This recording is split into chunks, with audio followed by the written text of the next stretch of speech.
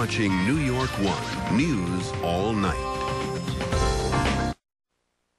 While the city tends to people hit hard by Sandy, one program is focused on making sure their pets are okay. Wheels of Hope reunited a pit bull named Dyson and some cats from their Queens home after their owner was hospitalized during the storm. The animals are cared for until their owners find them or are able to take them back.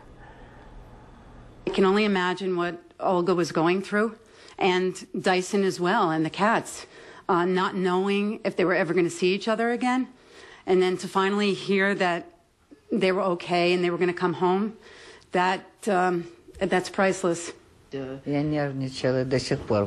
She's she's saying that she was extremely nervous. Uh, I mean, happy but nervous and ex excited to, to see them.